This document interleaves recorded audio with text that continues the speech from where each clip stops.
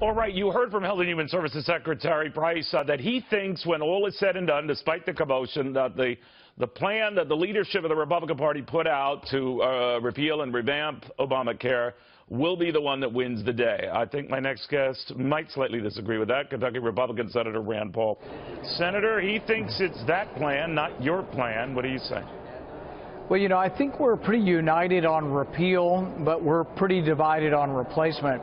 Uh, about a year ago, we voted unanimously to repeal the whole thing, a clean repeal. I still think that's about all that will pass.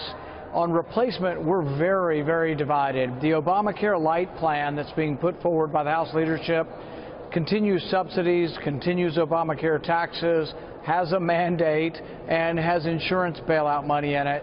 So, no, I don't think we're at all on the same page on that.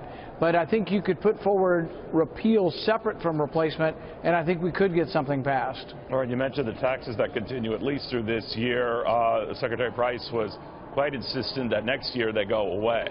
Um, except for the ex except for the Cadillac tax, which right. goes on forever. Okay, so that's a big problem for you.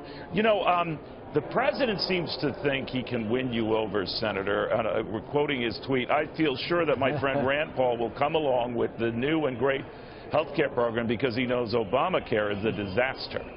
What do you say? Well, I do agree with the president, and I talked to him this week. I agree that Obamacare is a disaster, and I agree that we should repeal it. And so I think that's where the unity is. And then, you know, we're going to have to have a debate over replacement. But I don't think the conservatives in the House or the conservatives in the Senate want a new entitlement program, continued Cadillac tax. You know, we're not for an insurance mandate.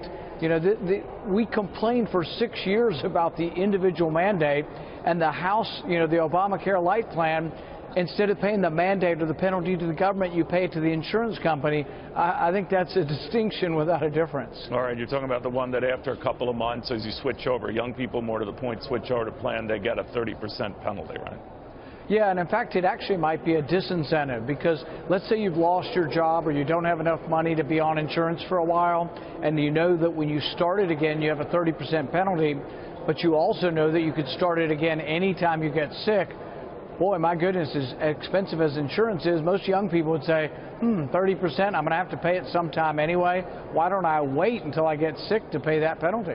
Yeah, I, that's the problem in the plans as they stand, right? Now, you're, you're, you're a doctor of background, but I, I think young people, I've raised this so many guests, maybe even last time you were here, they feel indestructible, Senator. They feel that they don't need to do it. And all the incentives in the world, I dare say you could throw 20000 in tax credits at them. I don't know if they'll go along. So well, how do no, you what deal they go for, what they would go for is inexpensive insurance. And what you're finding is, I'm not so sure we're going to get inexpensive insurance. To get inexpensive insurance, you need a catastrophic policy. I'm not positive under the House plan you're going to be able to get a catastrophic policy. That really has to be high deductible, low premium policy. Right now, the biggest problems in the individual market, premiums are soaring and people are not participating that are healthy, and it's having this adverse selection where you have a lot of sick people and not too many health people. And we have a high people. deductible environment as well, so you have the higher premiums and Exactly. Yeah. I'm not so sure that anything in the House plan changes that. My fear is that if you tell people you can buy insurance after you get sick, they will continue to do that. My fear is that under the House plan, Obamacare Light, that the situation continues to get worse. In fact, they admit as much because they put 100 billion in there to bail out the insurance companies. So the insurance companies don't have risk. Where We're is that 100 billion coming from? I saw that as well. Where is this pool of money coming from? Um, that's a really good question, but I'm not really excited about bailing out the insurance companies and assuming their risk, having the taxpayer assume their risk. But the insurance companies are a little bit disingenuous. They come to Washington acting like they're the best patriots in the world and they want to help everybody and they want guaranteed issue, but they want guaranteed issue only if the taxpayer pays for it. So, no, I mean, they're disingenuous in this, but the House plan ends up insuring the insurance companies against loss, and I don't think that's what the federal government ought to be doing. All right. The, the key similarities in both plans as they stand now, and I'd like to be with, with each one of these, whether you agree or, or they should be the same. Do you think there should be coverage for pre-existing conditions? I think what ought to happen is we ought to try to have uh, let people join a healthcare association with a lot of people, and that would be a group plan, and then they would get protection against pre-existing conditions. I think if you just simply mandate it in the individual market and you take away the individual mandate and you have this insurance mandate, Okay. it won't be it won't be enough, and I think the insurance companies will continue to spiral down. Premiums will right. continue to spiral I'm, up. I'm sorry to gun through this, but what about lifting the lifetime cap on coverage? Do You agree with that? I think that if we get people in group insurance, you have the leverage to get all of the things you desire in the terms of the insurance. All right. Uh, both of the plans presently tax generous employer plans. Would you?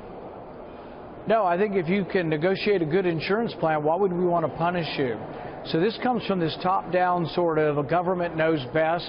The government doesn't think you should have a really good or expensive plan, so government's going to tax that.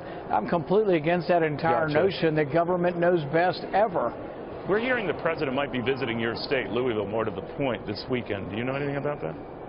Uh, I've heard the rumors, and we welcome him. He's very popular in our state. And he might be I've been a- pressuring you. well, I'm a big supporter of what he's done in deregulating our coal industry. I've been promoting that here for years. We're, we're lucky to have him as president with regard to deregulation. He's for lowering taxes, so am I. And uh, we're hoping we find common ground, and I think the common ground on Obamacare is that we're both for repealing it. All right.